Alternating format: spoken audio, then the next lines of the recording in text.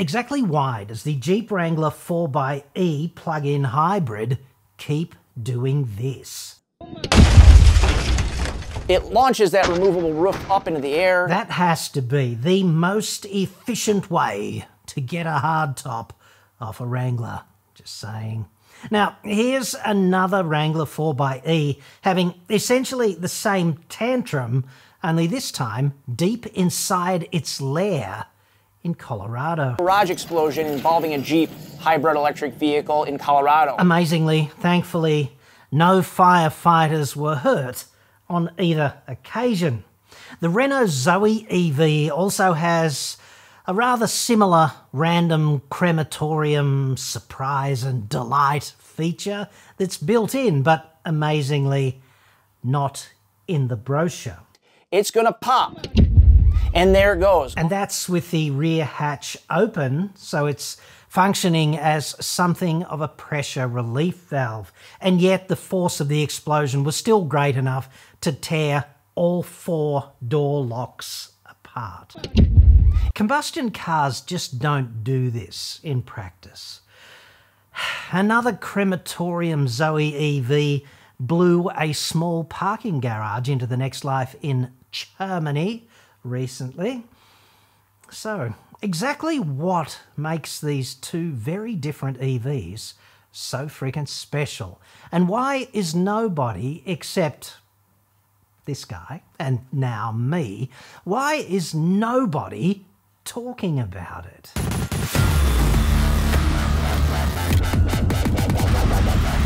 I'm John Cadogan from AutoExpert.com.au, new cars cheap, Australia only website card. So, the basic problem here is that both the Renault Zoe EV and the Wrangler 4xE plug-in hybrid have a passenger compartment predisposed, seemingly purpose-built, to fill up with toxic explosive gas should the battery enter a state of thermal runaway.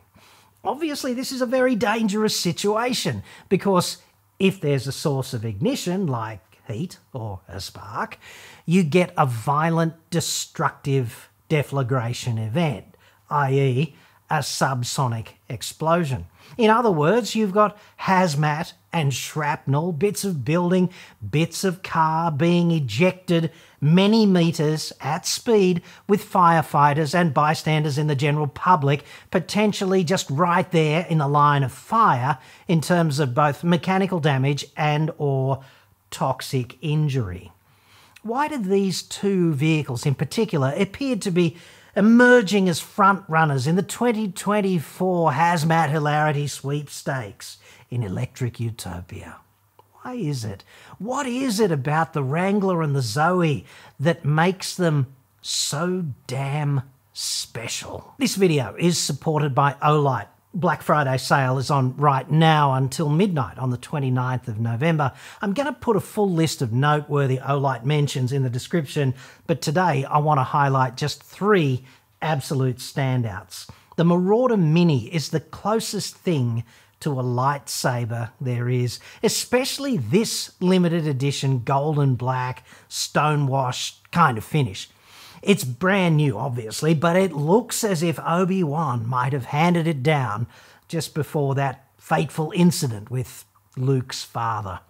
If you do the outdoors thing regularly, this light is a 600 metre searchlight, and then you just flick the toggle switch and it becomes a 7,000 lumen floodlight, turning night into day at any campsite. Seven different brightness levels and a neat safety function on the switch that prevents accidental activation in your vehicle or a bag. Standard charging arrangement is magnetic, the MCC3 thing, which is very clever. This torch is awesome overall. I've got one permanently at the main door to the Fat Cave, just in case something happens in the middle of the night. Then there's the Otacle A1, the new multi-function hatchet. This thing is properly awesome and it is scary sharp out of the box. There are two facets on the hatchet, plus there's a hammer with a milled face on the reverse side and a nail puller and pry bar down the far end of the handle. It's made of 50 CR15 MOV stainless steel, meaning it's a chromium molybdenum vanadium alloy, which is commonly used in high end German kitchen knives. It's great for durability and edge retention. The big hole in the head is awesome for choking up on for fine work, like if you want to use your hatchet like a knife or a scraper, and you can hang it from that in the workshop. It comes with a Kydex sheath and a belt clip. It's hardened to about 56 Rockwell C, and it's the full tang in between the G10 scales. It's 4.8 millimeters thick too, so good luck breaking it, even with high manual effort. This thing is a really useful general purpose tool in the bush, and if you're ever in the unfortunate position where you need to breach a window or a door of a car or a building, either to get yourself out in a fire or some other emergency, or to get yourself in and then help somebody else get out, having this is pretty much a superpower. Olight tells me there's plenty of stock this month too. Supply of the Otacle A1 was a little bit limited last month because it was newly released and it was all a bit of a rush, but they tell me there's plenty now. So sorry if you missed out, but go again this month and you won't be disappointed, I'm told. And finally, just a little something for dessert. And by dessert, I mean that full zombie apocalypse you've been secretly hoping for. And that would be the new Warrior X4 tactical torch. This thing is awesome and it's got a couple of big improvements too. It takes the regular magnetic charger like the MCC3 charger, but you can also use any old standard USB-C cable such as the one that charges your laptop. The new tail switch is two stage and you can easily feel the stages even if you're wearing gloves and this new switch makes it dead easy to clear away any ferromagnetic debris, like it just wipes off. There's a new injection molded case as well, which is super convenient, and now you don't have to undress to get it on or off your belt, so that's great. It offers fantastic retention of the torch and it's easy to deploy, which is kind of important because the torch itself is a bit big for the pocket. 2600 lumens on maximum brightness, so it's pretty bright, and it's IPX8 rated as well, so you're not going to drown it. It's still IPX8 even with the USB port open. I do find the new Warrior X4 oddly stimulating in ways in which perhaps a normal person would not. And yet, I'm reluctant to seek any treatment whatsoever about this. Links in the description, and let us not forget, Christmas is rushing at you like an out of control freight train. Just saying. Thanks very much, Olight. I appreciate the support. Check out those links. The discounts are huge for the next few days. Back to the Wrangler and the Zoe now, and the pesky exploding problem. This guy is Captain Patrick Durham. He's the captain and training officer at Station 4 on the Troy Fire Department in Michigan, America.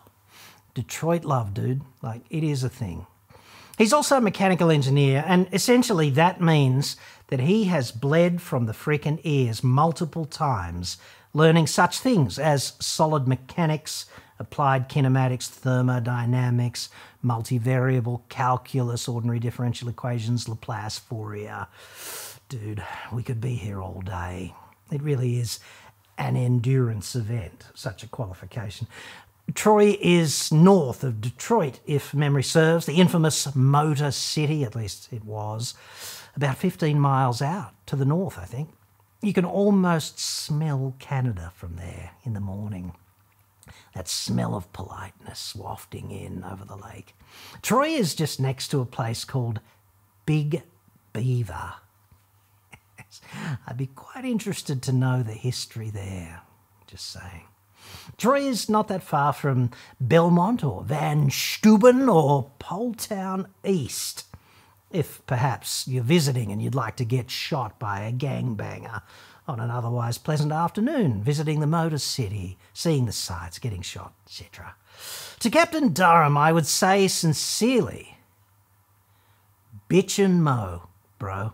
And of course, Patrick Stewart, Michael Chiklis, Telly Savalas, Dwayne Johnson, Ross Kemp, Phil Collins, Ed Harris, Stanley Tucci, and uh, Vin Diesel, among others, totally approve of that finely polished cranium, so beautifully maintained and optimized for both low aerodynamic drag and peak convective heat transfer. right about now on the shore of Lake St. Clair. Imagine that, rocking the dome. Hashtag respect. So, where were we? The basic problem here, according to Cap D, is that the Wrangler doesn't actually have a floor in the rear passenger compartment. I'm not kidding, dude. It's oddly Fred Flintstone like that. What flooring there is, is actually the battery case itself. Like the metal box that holds the cells is the floor. I couldn't make that up. Neither could he. He's too respectful of the facts.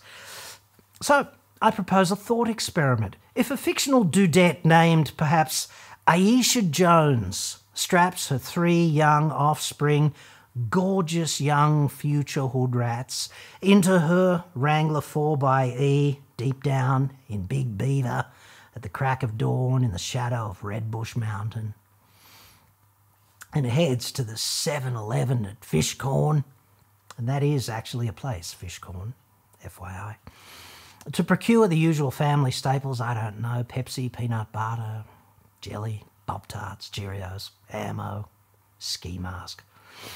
The next generation will slide out of Big Beaver, poised precariously on top of the battery itself, which hardly seems very safe or an especially responsible design decision, at least to me. If you look at this Jeep Hybrid, it appears that the battery box is actually inside the passenger compartment of the vehicle. That is a terrible idea in my mind. These batteries should be on the exterior of the vehicle. On top of that, there's an access panel underneath the rear seat of the vehicle. And you can see in these after photos that it actually melted through. That is the cranially streamlined Captain Durham himself there. And you should show him some subscriber love, in my estimation, because right there he is being brave enough to respect the facts and say what he really thinks, and he is sufficiently well trained to understand what those facts actually mean. God bless the First Amendment to the United States Constitution. You don't actually see such informed, straight talk every day in the land of online opinion and malleable facts, let's not forget. Cap D has an excellent video on this. It's called Electric Car Explosions Worldwide. Watch it, dude. You know you want to, right? I'll put a link up there and make it easy. I'll even wait while you watch. This collision of honesty and technical competency is getting rarer and rarer, frankly. Cap D is thus certainly swimming against the tsunami of electric evangelism that prevails, is he not? I'll put a link to his channel in the description and you should subscribe now, dude. It's called StacheD Training. It's Cap S T A C H E Cap D, all one word, training. So check it out, StacheD Training. With the Zoe EV, it's a similar worrying irresponsible design story. The Renault Zoe, if you've seen my other videos, you know they also have a firefighter's access in the inside of the vehicle underneath the rear seat. The fact that these batteries have direct access to off gas into the passenger compartment of the vehicle is extremely dangerous and a bad idea. Here's why this is a preposterously terrible design idea you might be trapped in the vehicle, hypothetically, perhaps in the aftermath of a crash. You could have just been T boned. You'll be dazed and confused, and the car could be jammed between two vehicles, one on this side and one on that side, and thus no escape for you or your incipient hood rats in the next generation. The passenger compartment might then start filling, problematically, with gas from the battery, which is entering thermal runaway. And it's filling up because there's no fucking floor. Oops a daisy. I'd suggest this is not a good time to be worrying about the imminent explosion, dude, because, well, the gas is going to kill you well before the explosion. So there's that.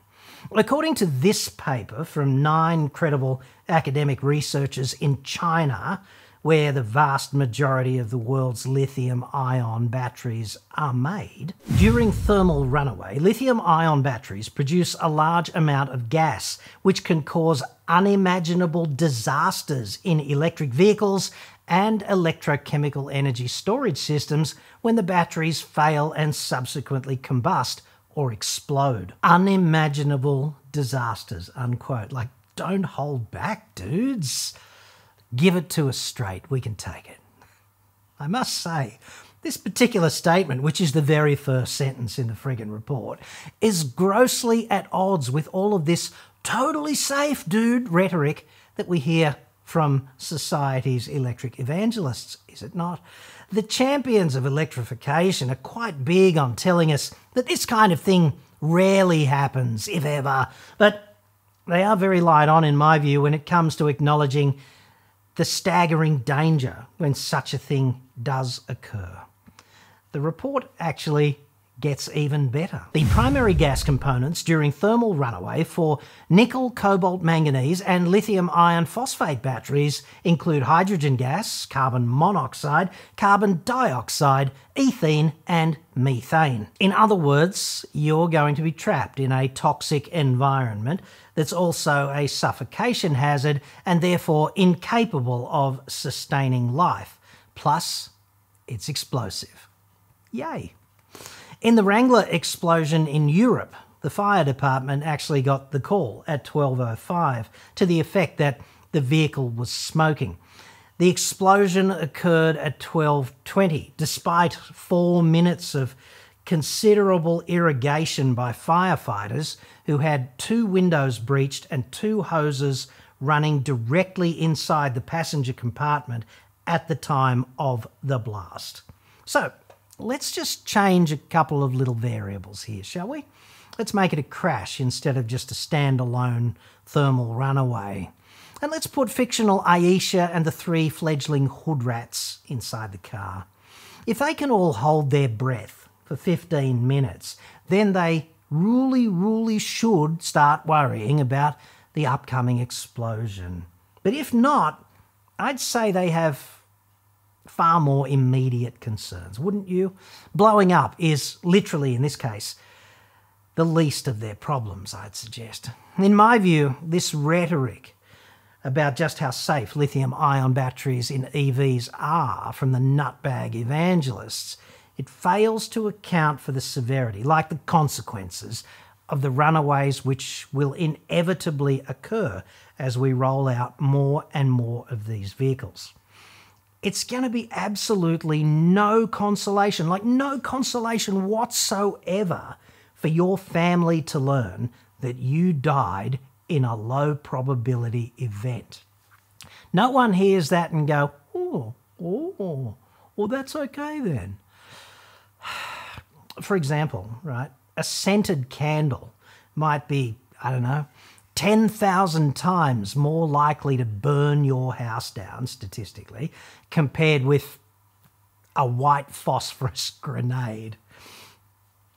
I suggest that it is a gross abuse of the rules of logic to conclude, therefore, that it is safe to have such a grenade just lying around on the frickin' coffee table, but perhaps we should all ban candles by 2035.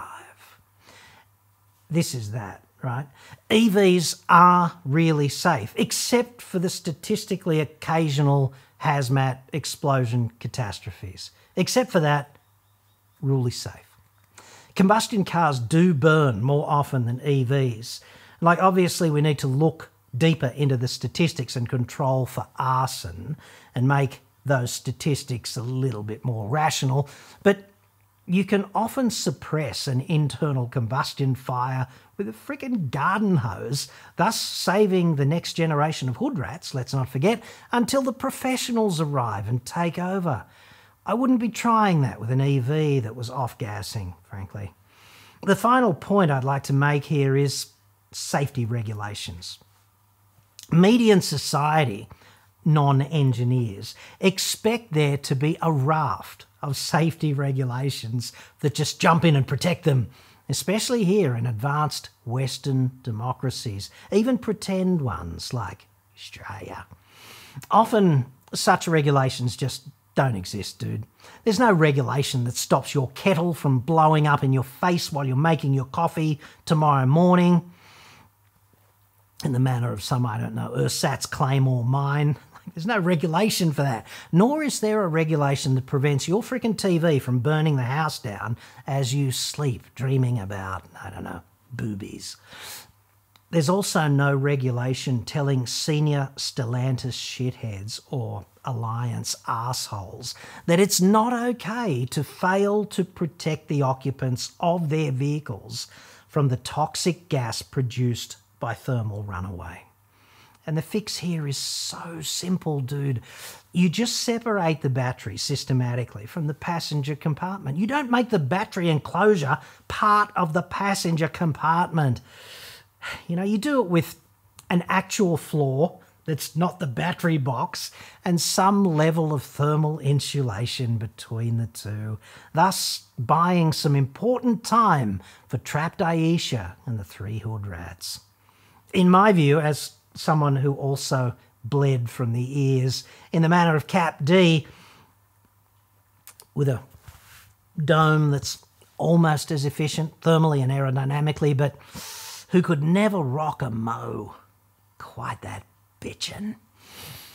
This is what happens when car makers decide it's okay to play fast and loose with the lives of their customers and the regulators are asleep at the frickin' wheel. Subscribe to StacheD Training. Dude, do Cap D here a solid because he certainly deserves your support, in my estimation, for his fine work blocking the flow of ambient bullshit on this one. I never thought I would see the Ford Pinto rise from the ashes like some kind of fucked up phoenix, albeit with a giant battery jammed up its clacker. And yet, here we are,